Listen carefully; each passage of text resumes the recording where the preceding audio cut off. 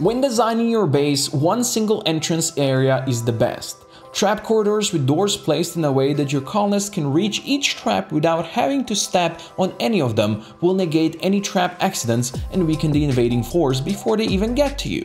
Having a couple of sandbags or barricades placed at the entrance will also prevent the raiders from standing behind cover at the bend and force them to move in. Trees and stone chunks also provide plenty of cover, so make sure you clear them out of the way. Certain terrain like water, mud, and sand will also slow down enemies, making it easier for your colonists to take them out. If you use turrets, you can turn them off when you don't need them to save power. You can do this manually one by one, use a switch like with batteries to turn them all off, or build a single unconnected power conduit and make them reconnect to it, turning them off instantly and without the need to unpause.